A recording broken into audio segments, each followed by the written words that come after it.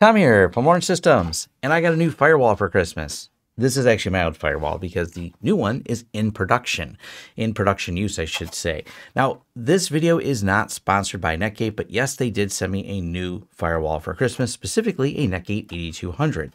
Now, Netgate has already posted videos about the specs and the speed and the details of the device, and I'm not here to talk about those because, as I said, they're documented. Actually, this is something Netgate does a great job of, is documenting all the different variables in terms of iPerf and iMix traffic with their VPN speeds, and they have the max posted routing speeds, which I mean, it's cool that they post how fast it can route, but let's talk about production use. And that's what I'm here to cover, not just a bunch of how fast can it possibly go, because that's not something you always use in the real world. In the real world, you're using a lot of different applications. And because we're using this in production and we installed it on December 24th of 2022, and it is February 25th of 2023, I have a few months of usage on it of using it at my office with my employees VPNing in, and we'll talk about all the different things we do with it.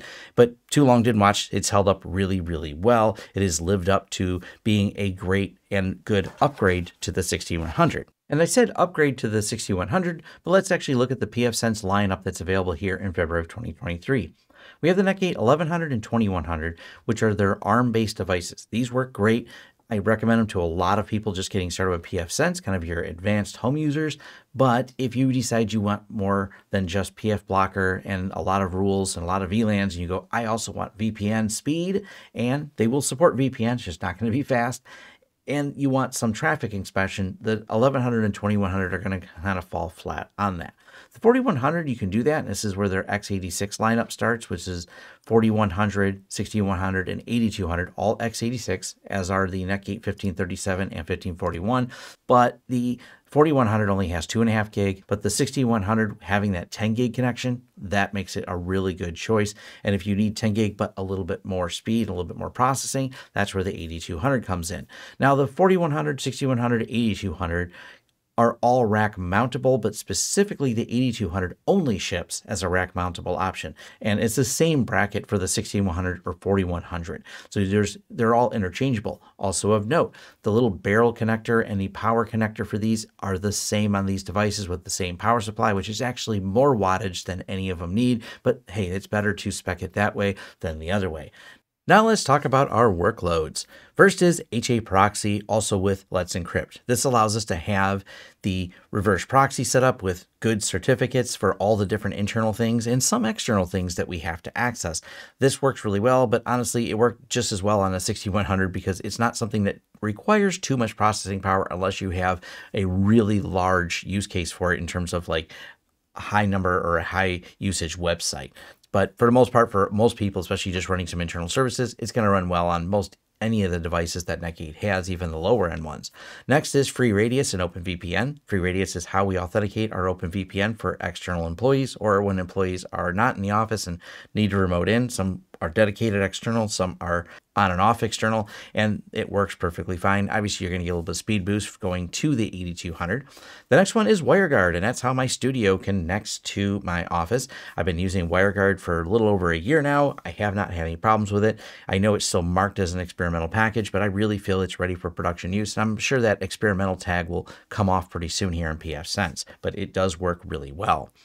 Suricata and not just using it, it's the number of rules and number of interfaces. This is where we did see a big performance improvement from the 6100 to the 8200 because it's not just running Suricata, it's not the traffic inspection and speed that you run into, but the reloading of rules. If you have to do an update or you have to make a rule change to Suricata or Snort, this goes the same for both, you will have a long pause for the reload time. This can sometimes cause some confusion where you have a rule that got triggered falsely, you flag it so it's a whitelisted rule, but then you run into the problem of it triggers again before the rule has time to reload because it may take 60 seconds or a minute or two, depending on how many rules you have to reload.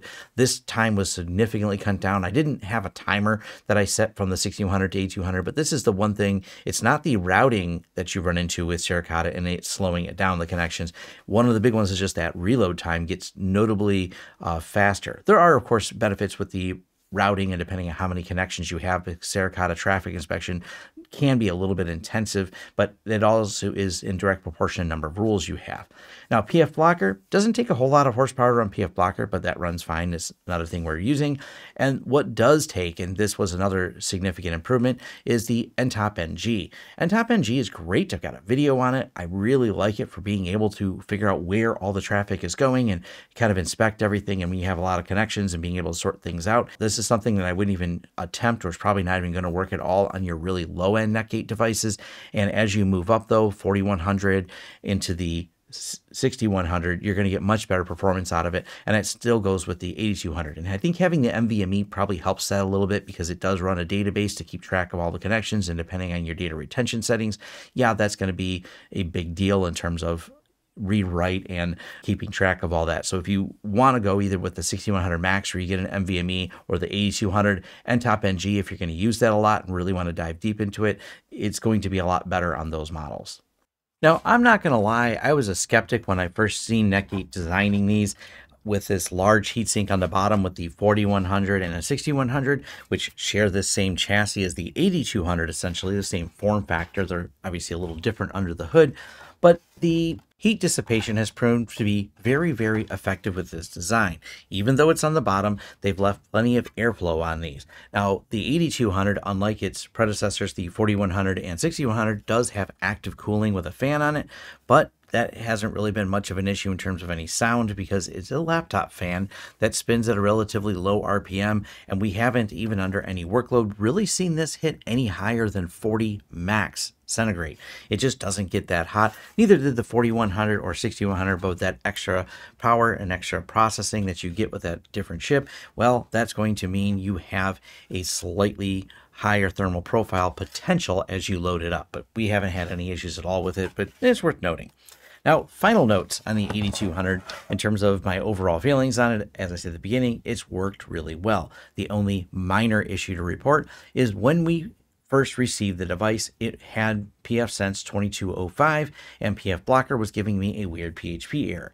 We did talk to Netgate. We know this was a bug that was kind of like a known at the time and would be fixed in the 2301 and I wanted to do this video after the 2301 update and the bug went away. We haven't had any problems at all. It would actually keep working. pfBlocker wouldn't stop. It would just give a PHP error on the reload about once a day. Kind of a strange bug, but that bug has now been fixed. And so unless you're planning on going back to the old version of pfSense, and there's also been an update to pfBlocker, unless you plan on going back to the old version of that, I don't see this as a problem you'll run into.